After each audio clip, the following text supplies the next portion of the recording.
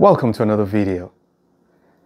Sometimes all you need is the algebra skills that you are very proud of, just like I am proud of my algebra skills. But sometimes it's not enough because the work you're doing is little algebra and a lot of trig, like the problem we have here. It's a limit problem, but no matter how good your algebra is, you still have to recall the things you learned in your trig class. So, do you remember what the domain or the range of arctan is? What is arctan? Well, it's the inverse function of tangent. Do you know what the graph of tangent looks like? See, these are the questions you have to always ask yourself before you go to bed. Every night, do I remember what they look like? Because without that, you might not be able to answer this question. So, let's get into the video.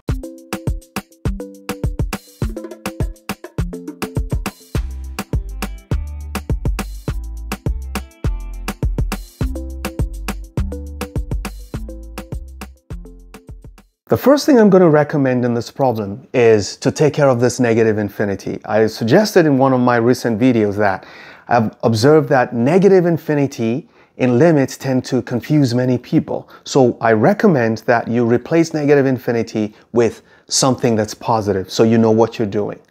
So what we're going to do just before we start is to get rid of this negative infinity and get something positive. Okay, so what we're going to do is instead of using x, we're going to use, I'm going to use t. Okay, I'm going to replace x with negative t so that as x goes to negative infinity, t is going to infinity. So let's do that quickly. So let's say let um, um, x be equal to negative t or let's say let t be equal to negative x. I think I prefer the second one so that um, as so that as x goes to negative infinity, t is going to go to positive infinity.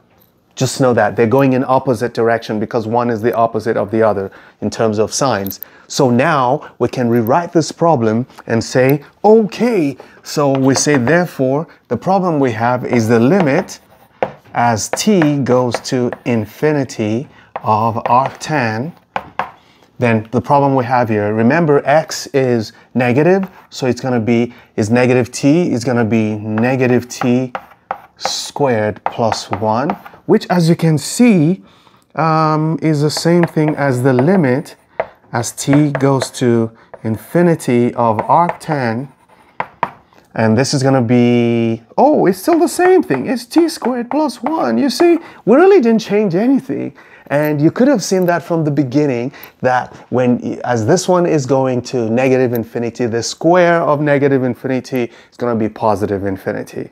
Definitely. Okay, so this is the new problem. Let's deal with this.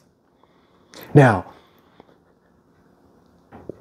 what do you think happens with arctan? No matter what you plug in, even on your calculator, no matter what you plug in to the arctan function, it will always give you a value that is within its range. What is the range of arctan? For arctan T, let's just see generally, okay? Arctan T, you have the domain the domain, that is the values that you can plug into this go from negative infinity to positive infinity. So the domain is from negative infinity to positive infinity. But what comes out of it, the range, is just restricted. It's from just um, after negative pi over 2 to just before pi over 2. You cannot go outside of these values. So, and since that's all we have, this is an argument, this is an argument. Whatever this is, what comes out of this will either be um, between, it will definitely be between negative pi over 2 and pi over 2. And that's it. So, with that, what does this graph look like? Well, the graph of arctan looks like this. If this is t, and this is arctan T. This is the graph of arctan T, okay? Remember that the graph looks like an S that is stretched out, something like this. Uh, like that. And you see this graph does not go up forever. There is a horizontal asymptote. okay, that it approaches perpetually, something like this, and there's a, another one here.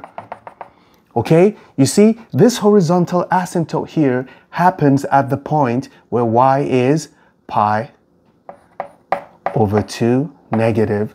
This asymptote here is also pi over 2, the positive version. That's this asymptote here. So no matter what you do to this graph, it will never go above pi over 2. It will never go below pi over 2. So whatever is happening here, no matter how big this becomes, the limit as t goes to infinity, which would be infinity, as you keep going to the right, you will keep approaching this line, but you will never get to this line.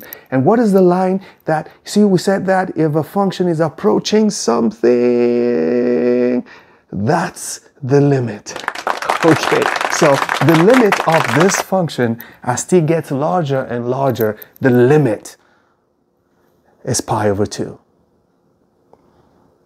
So you've got to see that, and that's it. So here, we can come here and say that as t goes to infinity, um, we have um, we have t squared plus 1 goes to infinity.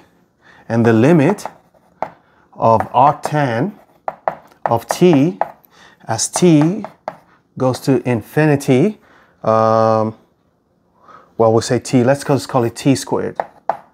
Okay, but t squared plus 1, t squared plus 1 goes to infinity. We can call this, let's represent this as, call it k. And then, okay, and call this, this k.